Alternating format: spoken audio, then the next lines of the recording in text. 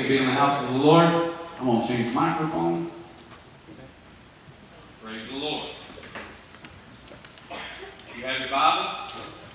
Turn to the book of Luke, chapter 15.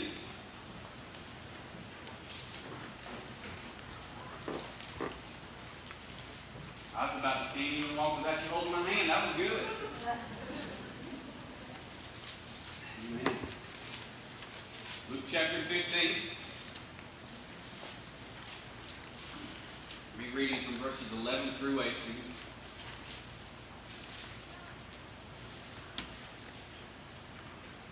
I just want to say it's good to see you in the house of the Lord today. It's hot outside, and it makes me glad I'm going to heaven. Praise the Lord. If, if hell was your destination, you need to reconsider. Because it's hot. But uh, I'm glad to know that Jesus Christ is on the throne and that I'm a child of God. Now I just want to speak to you this morning a few minutes on, on, on from the Word of God. If you, if you will, Luke chapter 15, verses 11 through 18. And he said, A certain man had two sons. And the younger of them said to his father, Father, give me the portions of good that falleth to me. And he divided unto them his living. And not many days after the younger son gathered all together and took his journey into a far country, and they wasted, and there wasted his substance with righteous living. And he had spent all, there arose a mighty famine in the land, and he began to be in want. And he went and joined himself to a citizen of the country. Everybody say citizen.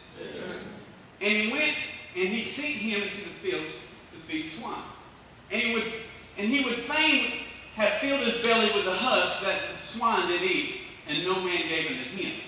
And when he came to himself, that's an important line, and when he came to himself, he said, How many hired servants of my father's house have bread enough to spare? And I perish with hunger. I will arise and go to my father, and will say unto him, Father, I have sinned against heaven and before thee. Today I want to speak to you on the subject that I feel that the body of Christ must adopt if we're ever going to make a difference in this community, if we're ever going to make a difference in this generation, if we're ever going to make a difference on the things that would come against this church, I feel like there's something that we must adopt. In today's society, we have allowed a serious problem to take us by storm. And unfortunately, as we as the church have allowed that problem to slip in to the church itself.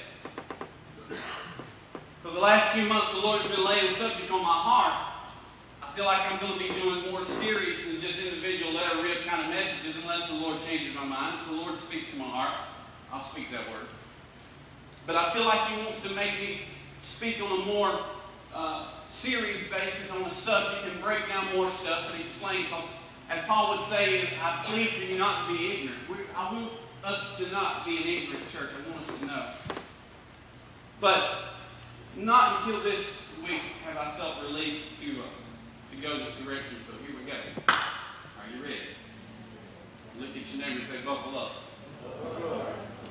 More than ever before, I feel that we as a people and we as a church have come under the terrible act of identity I said, I feel like we as a people and we have as a church have come under the terrible crime and the terrible act of suffering from identity. On the physical, approximately 15 million United States residents have their identities used fraudulently each year with financial losses totaling up to $50 billion. Close to 100 million additional Americans have their personal identifying information placed at risk of identity theft each year when records maintained in, government and corporate databases are lost or stolen. One in every 10 U.S. citizens have already been victimized by identity theft. There might be people in here today that on a physical level have suffered from some sort of identity theft. As it is in the physical, so it is in the spiritual. If there's ever been a time where Christians have forgotten who they are, I believe that that time is now.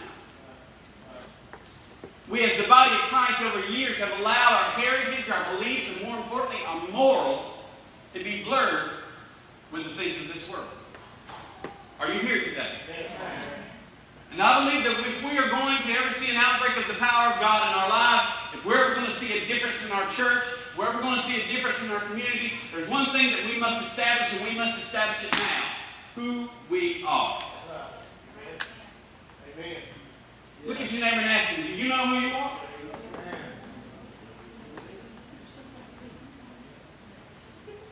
If I could title this message today, I would say, I know who I am.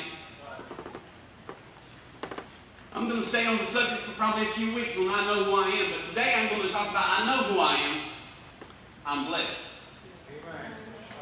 Look at your neighbor and say, neighbor. Come on, look at your neighbor and say, neighbor. Tell the devil, I know who I am. Look at your other neighbor and say, neighbor. Come on, tell him, say, neighbor. Tell the devil, I'm blessed. I got a wasp over here, I'm killing it right now. Not my ADD will get all over me. You probably will too. I'm blessed this morning. How many's blessed this morning? Let's pray. Heavenly Father, I love you and I thank you, God, for this day. I thank you, God, thank you for your power, God.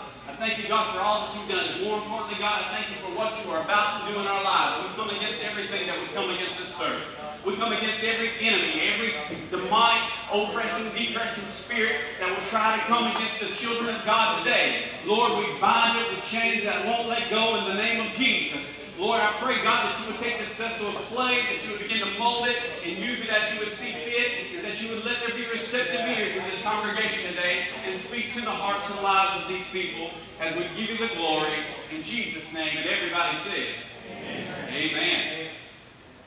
We can go back to the scripture and look at verse 12. It says, And the younger of them said to his father, Father, give me the portion of goods that falleth on me.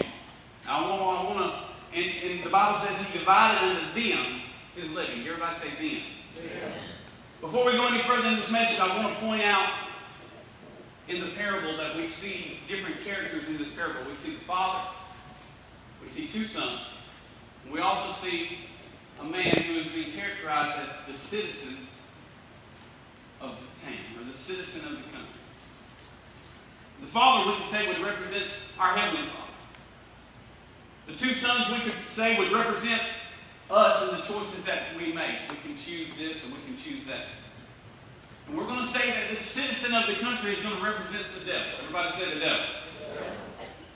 Now going back to verse 12, we see the Bible says that the youngest son asked for the blessing. I want a blessing, amen?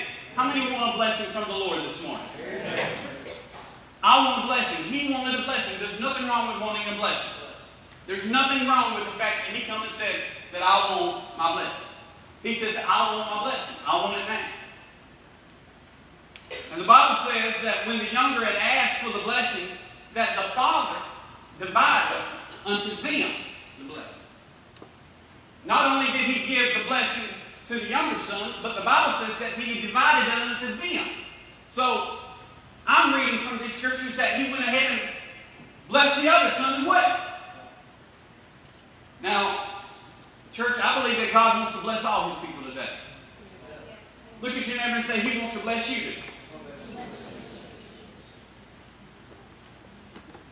We're blessed. God is, is not wanting to hold his blessings from somebody and give it to another and withhold it from here. John chapter 1, verse 12. But as many has received him, to them gave he power to become the sons of God, even to them that believed on his name as many as received him. If you receive the name of Jesus Christ, he wants to bless you. If you receive and believe that God and Jesus Christ is alive and well today, then God wants to pour his blessings out on you today. Amen? Amen.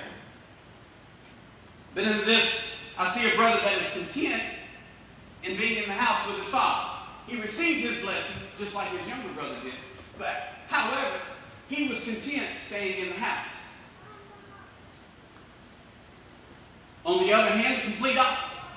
We see the younger son who has received this blessing and has grown restless with this identity of who he is in the house.